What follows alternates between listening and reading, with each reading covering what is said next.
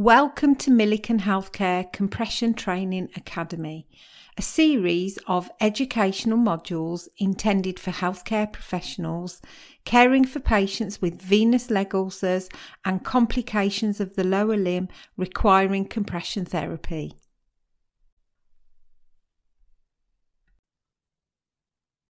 Welcome to Module 3 Compression Therapy in Practice. This module presents clinical implementation and practice considerations when using compression therapy. This module will explore ease of use considerations for compression therapy, ease of learning and cascade training, ease of selection, different application methods required for various compression materials, safety features used to assist correct application tension, bandage durability and wear time considerations, competency framework and training, certification, documentation requirements, and resources available. In preparing this presentation, we have used and relied upon information from public sources on the web. We therefore make no warranty, expressed or implied, as to the accuracy or completeness of the underlying assumptions, estimates, data, or other information not generated by Milliken. Compression therapy is considered gold standard treatment for the management of chronic venous insufficiency, venous reflux, and associated conditions, including edema, venous leg ulceration, and skin conditions such as venous eczema. The goal of compression therapy is to support the underlying venous system and structures, aid venous competence to improve venous return, reduce limb edema, decrease pain, and increase leg ulcer healing rate. Compression therapy will be required for life to prevent chronic venous insufficiency and symptoms of venous reflux from recurring. Module 1 of this education series contains in depth information on the causes of chronic venous insufficiency, the venous system and its structures, the veins, the valve, calf muscle pump. Venous leg ulcers are a global healthcare challenge. The United Kingdom estimates prevalence between 0.1 and 0.3%. The United States of America approximately 1.69%, with similar prevalence rates reported in parts of Europe. The annual cost of managing confirmed venous leg ulcers in the United Kingdom is reported to be between 500 and 900 million pounds. The United States of America estimate annual costs between 2.5 and 3.5 billion dollars and are consistent with European estimates, with Germany reporting cost to treat at between 9,900 and 10,800 euros. These figures continue to be challenged. Irwin et al. in 2022 report lower costs in the United Kingdom through continual prevalence and reporting methodologies. The cost to the individual patient and impact on their quality of life is impossible to measure. Recurrence rates are, re- are reported to be between 26 and 69% at 12 months post healing. There are a plethora of evidence based policies and guidelines available which have been designed to establish a global consensus approach toward leg ulcer management and selection of compression therapy, including the International Advisory Panel for Compression, who published a pathway cited in the European Wound Management Association compression documents.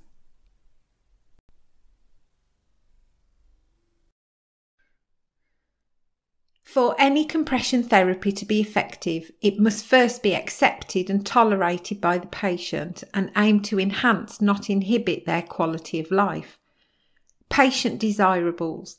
This list is not exhausted and may include a good aesthetic appearance when, applied, appearance when applied, that it does not itch during wear, that it does not restrict a patient's mobility, their activity levels, or lifestyle choices, that the applied compression resists odour, especially when wear time expectations can be up to seven days, that it is comfortable during wear, does not cause additional pain and discomfort, especially at night, disrupting their sleep. That it does not slip down or unwind, but stays in place between applications that it is cool and lightweight to wear, especially during the summer months and in warmer climates. Patients desire thee to look their normal self, to wear their own clothes and footwear and not have a bulky bandage on show. Many patients have stated that they do not want everyone to know they have a leg problem, which a bulky bandage can advertise. Characteristics a clinician may seek will be a combination of patient desirables and clinical considerations, including safety and ease of use. Accurate compression level is paramount for patient safety and for clinician reassurance that the desired compression level is achieved to prevent under or over compression leading to skin damage or worse. Innovative compression materials and manufacturing processes combined with the use of visual indicators increases accuracy and safety. Non-allergic. Where possible, compression materials should be free from any ingredient known to cause allergies, such as being free from latex. Comfort. The compression will be worn both day and night by the patient, and it is therefore critical that they are comfortable, that the bandage does not impact on their sleep or increase pain levels. If compression becomes uncomfortable, it is at risk of being removed by the wearer and even resisted as an intervention in the future. Lightweight. Edematous limbs already feel heavy to the patients, so the bandage layers should be kept to a minimum to reduce additional material weight and be, breathe- and be breathable to prevent further increased weight from excess wound fluids and general moisture. Low profile to enable wearing of usual clothes and footwear. The patient is able to look and feel their more normal self.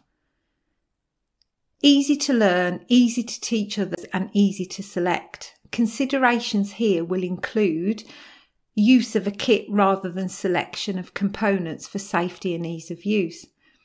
The desire for easy selection so clinicians are not overwhelmed with too wide a selection of products.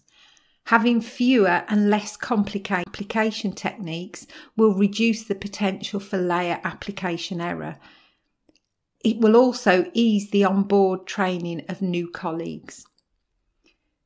Compression should be conformable to aid ease of application and be able to adapt to a wide range of limb shapes and sizes and sizes affected by conditions such as edema. Inelastic or elastic Ideally, that both are available for selection to deliver the most appropriate therapeutic resting and working pressures for your patient's needs. Sustained compression. Compression should and not lose applied pressure over time.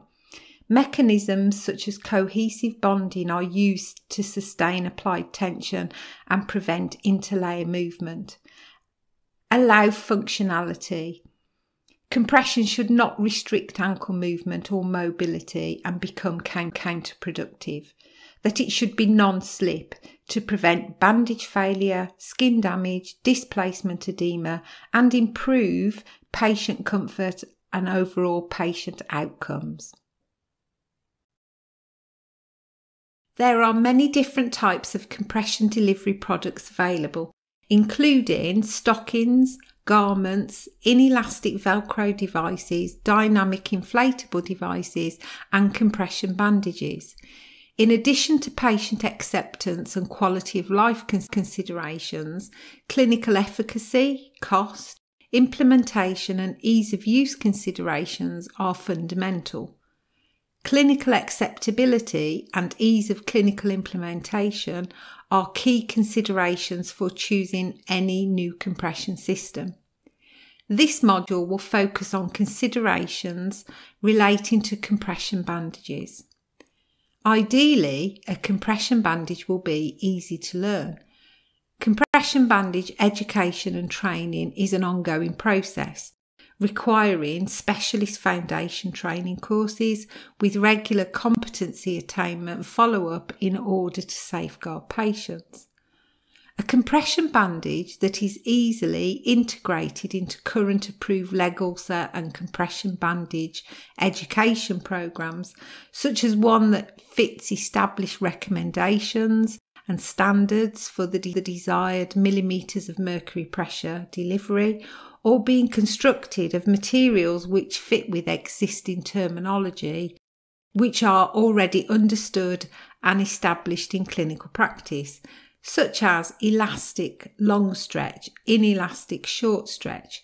This will afford academic programs to accommodate new training material and practitioners to understand these technologies more readily. Should be easy to cascade train. Implementation of any new system or device can pose huge training challenges. Strategies will be required to maintain ongoing competency. Often, due to the level of staff turnover, the time required to train and deem new staff members competent also needs to be considered. Easy to select. We should also consider the number of sizes that are available with any adopted range. Is it easy to choose or are there confusing additions, such as versions in both latex and latex free within the same range and same sizes? Ideally, the best option would be latex free with no room for error. Is the millimetres of mercury pressure stated? Is there a choice for venous or mixed etiology leg ulcers? The fewer size variants within a range, the easier and safer it will be to select. Is it easy to apply? The length of time available to apply compression during clinical appointments is often very limited. Ideally, we desire to apply fewer layers quickly and effectively through minimizing the need for any additional additional components under or over layers and reducing the use of tools such as tapes and scissors by minimizing a very simple not multiple technique application avoiding the need for complicated adaptations such as excessive cutting or folding ease of application will be achieved. Fundamentally we want our compression bandage to be safe. Bandage safety is paramount. Compression strength should be stated and be easily identifiable. When applied, the bandages should aim to, to achieve and sustain the desired millimetres of mercury pressure during wear.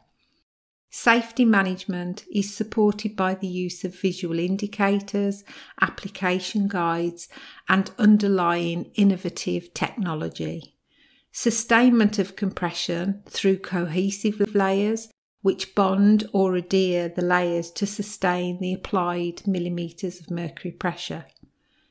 We want our systems to be durable and be able to achieve the wear expectation, which is usually up to seven days. We want to be able to resist bandage failure, slippage, and wind, even in younger, active leg ulcer patients. And finally, we want it to be easy to remove.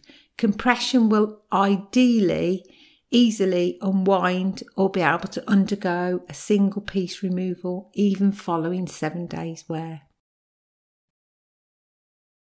For compression to be easy to learn and teach others, Ideally, it will be easy to explain.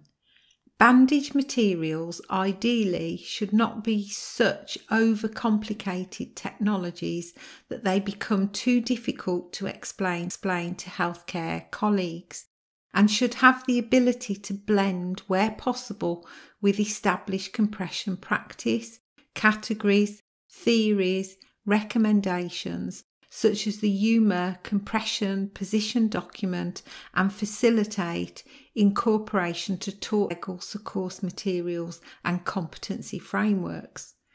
It should be easy to position against clinical needs. The level of millimetres of mercury pressure should be easily matched to the clinical indication being treated and offer clear ranges of millimetres of mercury pressure level, such as light compression 20 to 30 millimetres of mercury pressure for patients with an underlying arterial insufficiency and standard or full 30 to 40 millimetres of mercury pressure for venous leg ulcers with very, very little or no underlying arterial insufficiency. A choice of bandage types that can be matched to the patient's skin condition, for instance, paste bandages such as zinc or calamine to manage skin conditions associated with chronic venous insufficiency, and also mobility status to consider the patient's ability to work with short stretch technology and those who require long stretch. Easy to select. Selecting compression bandage components does not need to be a daunting task. Many industries have now combined components into kit formats to aid ease of selection. Ideally, kit formats should have sufficient choice to meet clinical needs, but not have an over comprehensive process to select the kit. Top up items or too large a range which may potentially create confusion or lead to mistakes. It should be easy to apply ideally to include safety features for correct application tension to achieve desired compression levels, such as visual indicators or guides, and not have overcomplicated application techniques or require a different application method for different layers of the system, potentially creating confusion and the potential risk of application error. Finally, should be easy to remove. Compression should be easy to unwind or undergo a single piece removal, even if it has been worn for seven days. Module 1 discussed ankle brachial pressure index and its importance in the selection of compression therapy.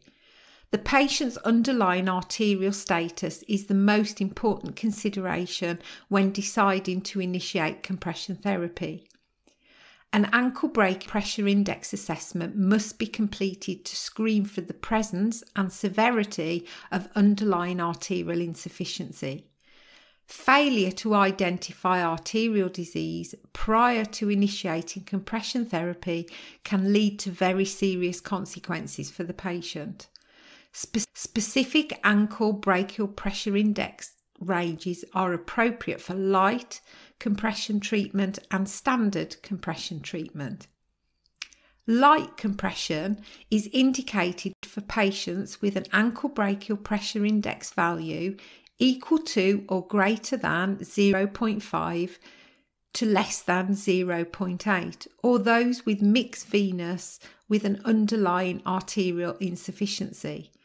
Standard compression is indicated for patients with an ankle brachial pressure index value equal to or greater than 0.8 to less than 1.3, or those with venous insufficiency with mild or no underlying arterial insufficiency. Compression therapy is measured in millimetres of mercury pressure. Light compression will fall between 20 to 30 millimeters of mercury pressure, and standard compression will fall between 30 to 40 millimeters of mercury pressure. Another key factor to consider is the patient's skin condition. Is the skin intact or is it irritated by conditions associated to chronic venous insufficiency, such as venous eczema? Activity level needs to be evaluated to understand if short or long stretch compression will be the most appropriate. Patient tolerance of compression can be managed with the use of light compression as a precursor to using standard compression and in those unable to tolerate standard compression. It is important to understand the indications for compression use and when compression is contraindicated. Indications for compression use are for venous leg ulcers, where there is chronic venous insufficiency, where an ankle brachial pressure index is equal to or greater than 0.8, the patient can be for standard compression, 30 to 40 millimeters of mercury pressure. Mixed leg ulcers, where the patient has chronic venous insufficiency with an underlying arterial insufficiency, an ankle brachial pressure index which is equal to or greater than 0.5, the patient can have light compression 20 to 30 millimeters of mercury pressure. In general, compression is indicated for active or healed leg ulcers, lower limb edema, lymphedema, the treatment of varicose veins, for tired, aching legs secondary to venous disease, to manage skin changes due to venous insufficiency and for the prevention and treatment of deep vein thrombosis, for instance, compression use during pregnancy. Contraindications for the use of compression include uncompensated organ failure, whether that be heart, liver, renal, advanced peripheral obstructive arterial disease, where an ankle brachial pressure index is less than 0.5 or greater than 1.3. Cellulitis or septic phlebitis, untreated wound infection, abscesses, advanced peripheral neuropathy. Compression should not be used. Ease of use considerations, compression selection. Ankle brachial pressure index assessment is fundamental to aid selection of the correct millimetres of mercury compression level. Ankle brachial pressure index has been covered extensively in previous modules within this series. Light or standard selection. This is required for patient safety.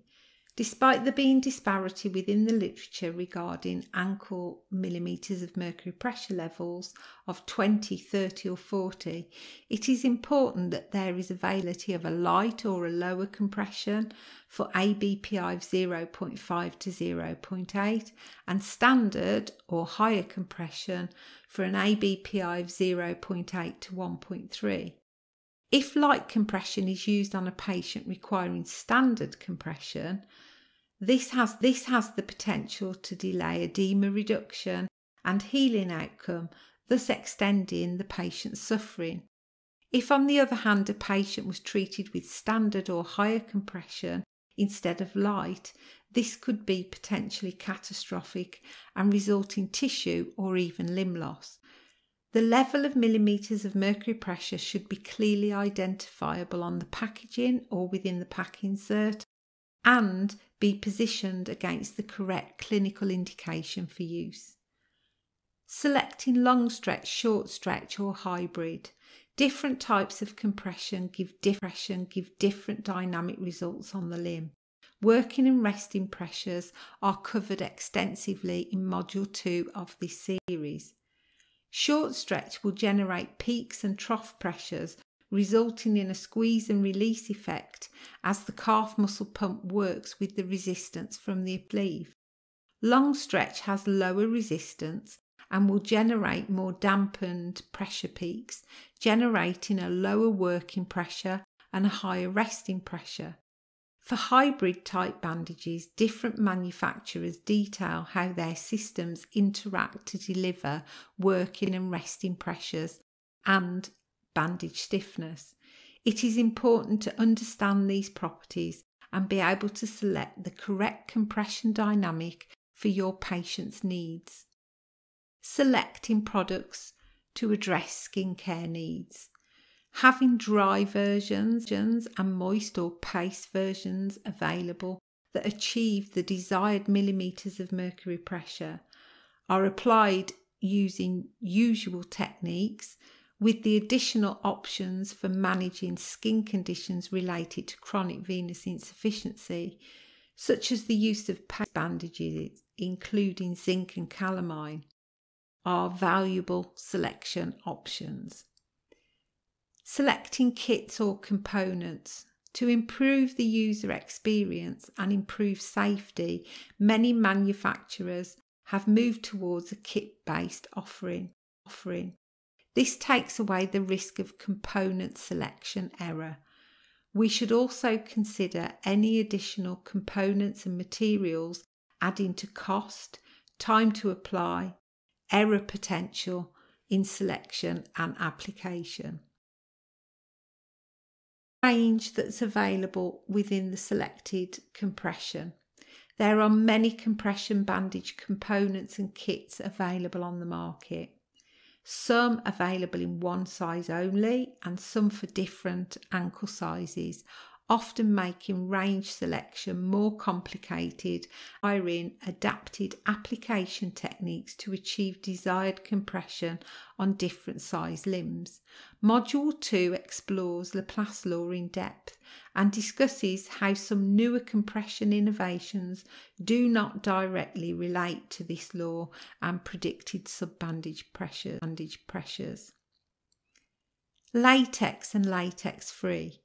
Ideally, a complete range will be latex free to avoid any user error. Some bandage manufacturers do offer latex and latex free versions, which can be difficult to distinguish between, and risk management will be required. Single use or washable. Most compression bandages, including kits, are single patient use. However, some bandages, particularly cotton short stretch, are washable.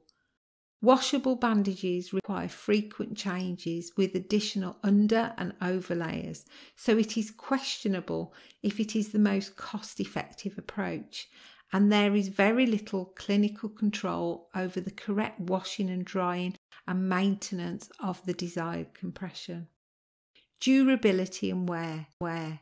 When aiming for a bandage system to be worn for up to seven days, we need to select robust compression materials, particularly with active patients. Cohesive compression is selected to prevent interlayer movement, resist slip, and bandage failure. Ease of application considerations include the number of layers to be applied, this will not only impact material costs, but also the length of time allocated per patient clinical appointment.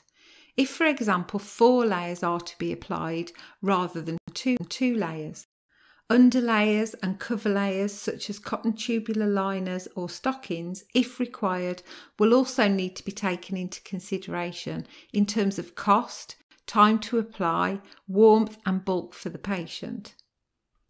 The number of different application techniques. Some systems require different application techniques for each component. For example, one layer spiral and another layer figure of eight or, or pleated technique. Adaptations in technique for smaller or larger limbs, for example, 50% overlap or two thirds overlap, or a reverse spiral application technique. It is critically important that the manufacturer's recommendations for application are read, understood, and followed to achieve desired compression outcomes. There has also been much debate in the literature regarding the application of compression to the, to the dorsal of the foot and toes. We must always consider compression for all areas at risk of swelling, edema, and where possible have access to material widths to allow us to compress these areas. Limb shape normalisation. This has been subject to much, much debate in the literature relating to graduated compression, the belief that by building a normal limb shape with the first layer will ensure graduated compression. There are many reasons you may wish to normalise limb shape for a patient, which may include for aesthetic appearance. The patient wishes their leg to appear normal or their usual shape. With many newer innovative compression materials and systems, the need to build a limb shape for compression purposes is not required, as the compression behaves differently. The main purpose of layer 1, also known as the comfort layer, is that of protection, especially over bony prominences or fragile wounds. Our aim is to achieve a smooth foundation to receive the compression being applied over this layer. Most layer 1 components are wool, synthetic fibre, foam type materials and do not contain any compression. But some newly developed materials do contain compression in layer 1, so it is important to understand the material properties for each component. For patients with multiple skin conditions relating to chronic, venous insufficiency, it may be necessary to deliver a paste bandage layer, such as a zinc or a calamine, which traditionally have not been seen as materials for normalising or building limb shape and traditionally required a wool layer applied over. Newer innovations in this area have also addressed this need through foam layers infused with zinc or calamine. Conformability of bandage materials is a key consideration, especially for areas such as the back of the heel to ensure a smooth application to prevent bandage bulk creating pressure spots and tissue damage. Some bandage materials are higher profile and non conformable, requiring cutting or folding techniques to achieve the smooth application beneath the compression. Some considerations here are time to apply, safety for skin integrity, and difficult, difficult application. Safety features such as visual guides or indicators have become increasingly popular to ensure ease of use relating to correct application tension. Cohesive bandages are considered easier to use as they do not require secondary tapes or fixation and will also increase the durability of the applied bandage during wear. Bonding the compression materials, preventing interlayer movement and consequently preventing bandage slippage and failure. Removal techniques have also evolved to include one piece, one piece removal, reduce time, reduce mess, or a simple unwind technique. Kits versus components. Compression kits are designed and manufactured to be safe, convenient, and time saving versus the gathering of several components, underlayers, overlayers, and tapes. Compression kits are. Once the correct kit has been selected, the materials contained within achieve the desired compression, reducing the risk of material selection error. Clinical settings are often extremely busy places with limited time allocated per patient. A component could easily be selected in error. Safety features such as visual indicators or measured compression materials. Material compatibility the cohesion or bonding of materials is very important. When using kit formats, the materials, materials have been specifically developed and designed to work together. For example, a moisture resistant cohesive to be used with a paste, zinc, or calamine kit. Speed of use. Again, time allocated per patient is critical. Ideally, we, ideally, we strive to quickly select and apply our bandage materials.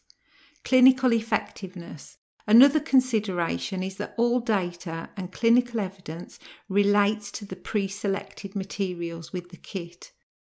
Cost effectiveness. There is a predetermined cost outlay which does not require any additional material component costs. Ease of application, additional considerations for the number of layers. Patient implications. If several layers of bandage materials are applied to the patient's limb, this can become restrictive, hot, bulky, and severely affect their quality of life. Therefore, we should aim to apply the least restrictive, most comfortable and conformable, lowest profile, lightest weight, fewest number of layers as possible to the patient's limb. Clinician implications. Clinicians are required to gain competence in each, la- each layer and each technique of any bandage system. Time to learn. Fewer layers will significantly reduce the time required to train any new staff. Time to apply. Clinic appointment times may be reduced significantly if fewer layers applied and additional under overlayers. Techniques deployed. A consistent application technique for all bandage layers is often not feasible with many compression bandage systems. To aid ease of application and improve safety, the least techniques and bandage adaptations, the better. Conformability. Some bandage materials are higher profile and, as such, are not as conformable to some of the areas of the lower limb, such as around the ankle area, often requiring folding or cutting techniques. To aid ease of application, it is advisable to work with lower profile conformable materials. Layer interactions. An important consideration is that of the interaction between applied layers. We aim to avoid movement beneath layers, which, which may create hotspots and potential skin damage. A good example is that of a cotton liner with an orthopedic wool, with a crepe bandage over the top of it, a non cohesive compression covered with a cohesive compression, and then maybe an overlayer. That would be a total of six layers. The cotton liner has the potential to slip against the skin. The wool layer may slip between two layers. The crepe and the non cohesive bandage may also slip. The cohesive bandage will remain intact against the under compression layer, but everything beneath it has the potential to move. Ideally, we want to use systems that do not require under or over cotton layers and cohere to each other to prevent any interbandage layer movement. Time to remove. Nursing and clinic time can be reduced if there are two layers to remove rather than the six layer example given above. Cost implications. For each additional layer we introduce, we introduce additional costs to the treatment package being deployed. Consider the cost of single bandage components versus the cost of a compression kit and do not consider all of the material costs involved and nursing and clinical time savings. Ease of application, limb shape normalisation and protection. The importance of laying the correct foundation for compression to be applied has been touched on in the previous slide regarding interactions between the foundation layer and materials being applied over The overall aim of the foundation layer, also known as the comfort layer, is that of protection.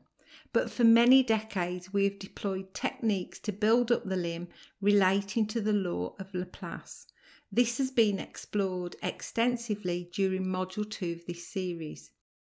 As previously, as previously mentioned, this is not necessary with newer innovative compression materials. We will discuss some additional reasons for normalising limb shape and providing additional comfort layer to different limb shapes and scenarios.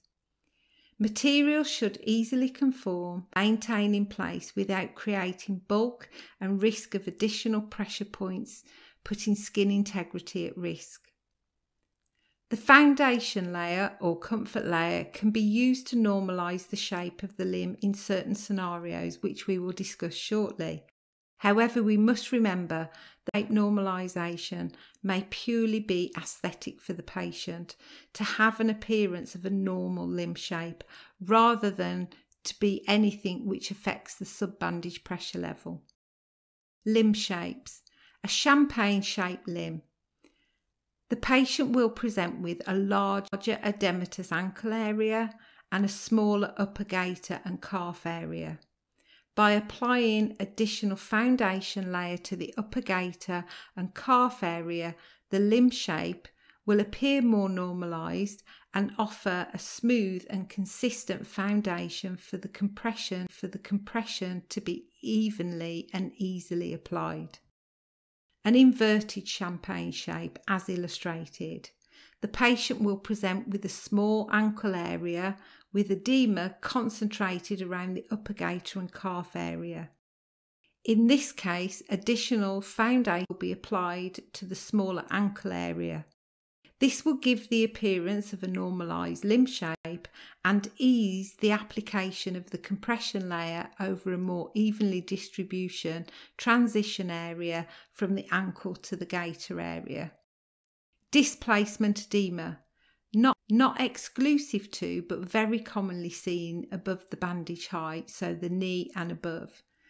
The limb will require above knee compression to resolve this, and the foundation layer will play a crucial role in normalising the shape on the transition area from the reduced below knee to the edematous above knee. Aprons and folds can be protected above and beneath with foundation layer materials which are sufficiently low profile and conformable. This is a key consideration when selecting materials you are going to work with. Vulnerable skin areas and bony prominences. Additional foundation layer can be applied over bony prominences such as the tibial crest or the malleolus to add additional skin protection. Ideally, a foundation layer should not require any underlayer which may slip beneath. It should have the ability to gently hold against the skin to prevent bandage slip. It should be low profile and conformable. Ease of application considerations will include Probably the most key consideration is does the compression correlate with academic training courses, practice policies and guidelines within the specialist field to aid adoption and safe practice. Can the compression be incorporated within core skills and competence attainment frameworks? Time to apply. Are there time saving qualities or do time cost implications exist? The number of techniques that we need to use this will impact ease of application, ease of training. We will explore some different application techniques shortly. The number of combinations of techniques that we have to use, safety issues, risk of error, ease of application, and training considerations must all be weighed up. Modifications. Should we consider avoiding complicated adaptations and modifications? These may impact heavily on ease of application and ease of adoption training. Ability to cut. Are the materials cuttable? Do they fray? Are there materials, materials available which avoid the need to cut and aid ease of application? Safety features. Visual aids to guide the application tension and support ease of training, competency attainment. Consider the benefits and type of indicators to be used. We will explore some, some different application techniques over the next few slides. The spiral application technique. The spiral technique is established as the most commonly used and easiest technique to learn and teach others. The spiral technique is used in most compression applications on its own or in combination with other we'll cover shortly. Traditionally, a 50% overlap is used, but we also need to be aware of some newer materials which require adaptation to the overlap level for larger limbs. We will look at some of these materials in more depth shortly. Application tension is generally defined by the bandage type, short stretch, long stretch considerations, and some newly developed bandage materials have the elastic or inelastic tension set within the bandage material. It is important to understand the properties within the bandage and always follow the, manufa- the manufacturer's recommendations for application. Correct level of bandage overlap and correct bandage tension is crucial when using the spiral technique. Visual indicators. Not all compression bandages contain application visual indicators, but they have become increasingly popular with clinicians. They are used as an additional application safety benefit and also as a teaching tool when training others. Material properties and bandage durability. Consideration for how the bandage material will stay in place once applied in a, a spiral technique, especially if we are expecting a bandage wear time of up to seven days, particularly in active patients. Materials which are cohesive bond the layers, prevent the interbandage movement, and prevent slip. These are key considerations for the durability using the spiral technique. However, non cohesive bandages may require other techniques such as a combined figure of eight or an additional reverse spiral purely to ensure that the bandage stays in place. We will look at these application methods shortly. The figure of eight application technique. As the image demonstrates, the figure of eight technique is routinely used at the heel and ankle area in compression bandaging. The figure of eight provides heel coverage and the ankle area with sufficient compression to manage any edema and to prevent displacement edema from occurring. If the compression level in this area was reduced, then edema may occur at the ankle the number of figure of eight turns. We need to be aware that there may be one, two, two, or even three plus figure of eights applied at this area, depending on the compression system you're using. Always follow the manufacturer's recommendations for the number of ankle figure of eights. Some bandage systems, you may be advised to apply additional figure of eights in certain scenarios, such as a severe champagne shaped limb. The figure of eight technique is easy to learn and easy to train others. Some compression systems require a figure of eight technique for the complete limb for one component, such as layer 3 in a traditional four layer compression system. The correct 50% overlapped the correct bandage tension and correct figure of eight crossover technique are all required to ensure that the compression has been delivered to the limb in a consistent and evenly distributed manner. It goes without saying that the full limb figure of eight technique is more time consuming to apply than a simple spiral technique. Material properties define durability as discussed around cohesion previously. The full limb figure of eight technique is deployed in bandage materials which are not cohesive, with an aim of the crossover figure of eight being to prevent bandage movement and slip to improve bandage durability and wear. The reverse spiral application technique. This is a more advanced spiral technique to learn and train others. It's often used in non cohesive short stretch compression bandage applications.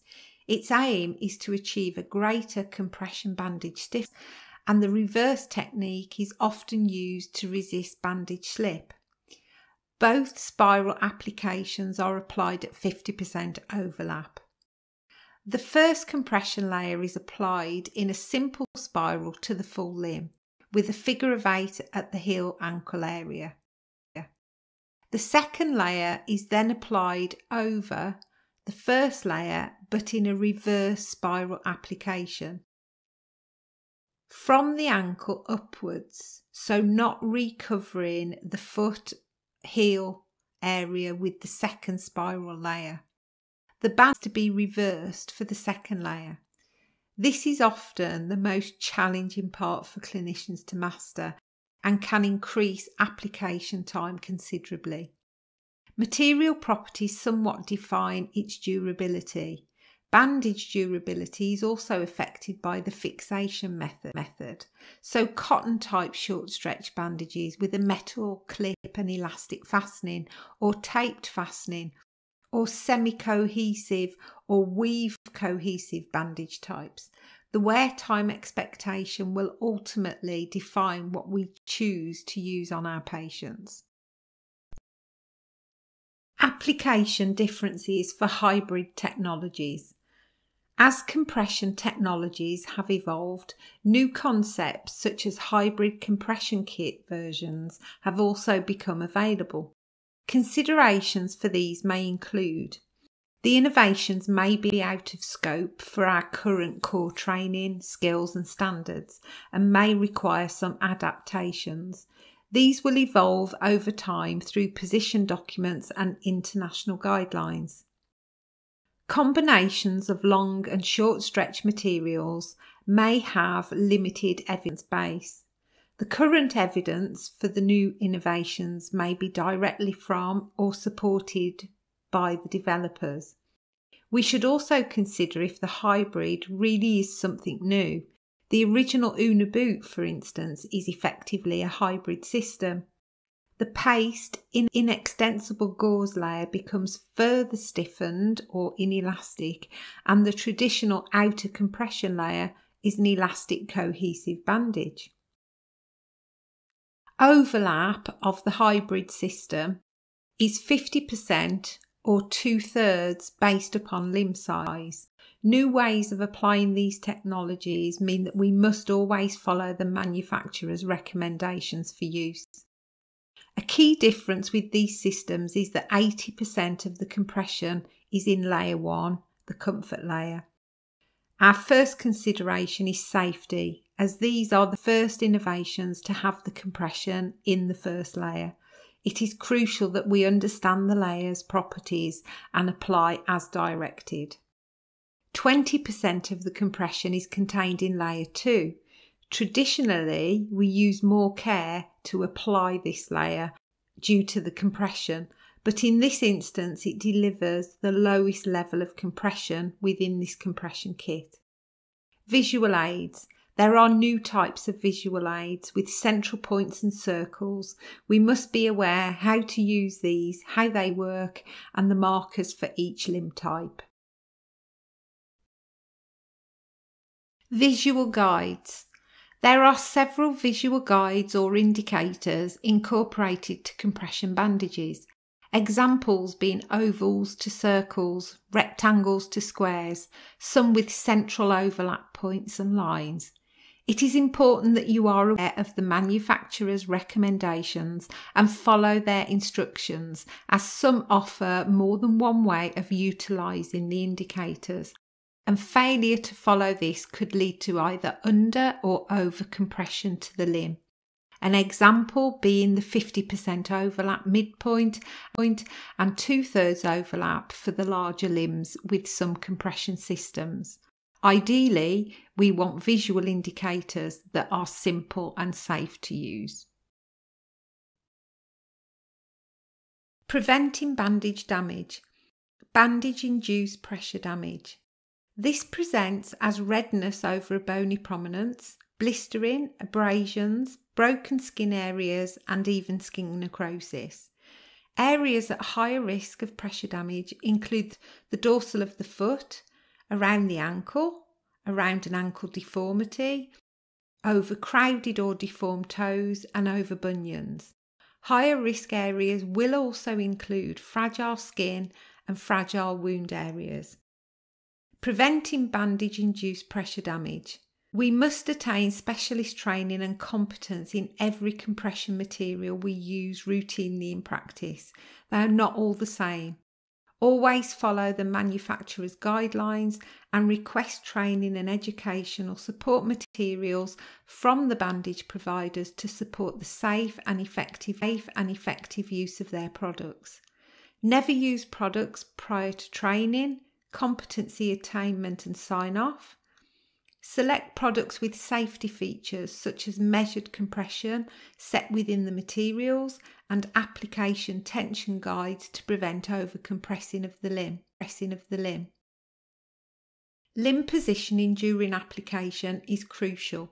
The 90 degree angle or toes to nose to prevent the dorsal skin damage as seen here in the image on the slide. This patient has developed bandage damage. The compression was applied with the foot in the incorrect position, and the folds created upon standing have now caused pressure ridges on the dorsal of the foot. Apply additional protection layer to areas at higher risk of skin and pressure damage. Ensure compression is smoothly and evenly applied and cannot slip beneath the compression. Factors affecting durability and wear time. Slippage. Bandage slippage is the most common cause of bandage failure. As we have already discussed, cohesive bonding of compression materials and newer generation comfort layers resist slippage, increase durability and wear time.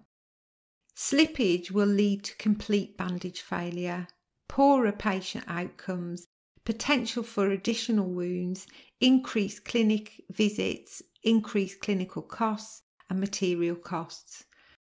Bandage can also lead to patient fall injuries, poor healing outcomes, as not receiving the compression the patient can be distressed and become isolated at the fear of this prospect.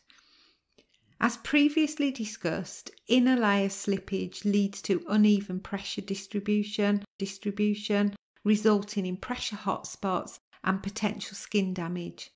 Displacement edema. Edema will appear above the slippage height, often termed muffin topped. This will require skill to reverse. Edema can appear above, below, or in between slipped bandage. The image shows gaps in the slip bandage where edema will appear in those windows. Initial edema reduction. When compression is initiated, it is recommended to change at least twice weekly for the first two weeks to avoid slippage. This is during the time the edema level reduction is at its highest level. Once the edema reduction has stabilised, the bandage wear time should be extended. Training competency frameworks. There is no international standard for this, and it does differ from country to country and even at local policy level.